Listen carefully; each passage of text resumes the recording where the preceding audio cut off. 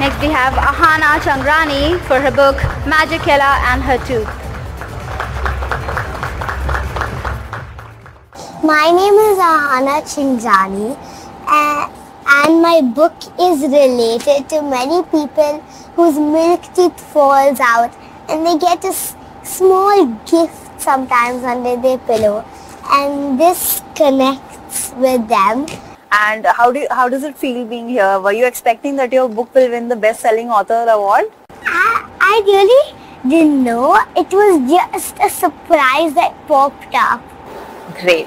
So, like, do you have a message for the authors, like, to not be scared when they're writing and um, anything like that? I have a small letter like out here. So it's like, don't be afraid, my child. This darkness is like a blindfold entry to a fantastic surprise. So whenever, first there's uh, always darkness and then there's like a happy moment.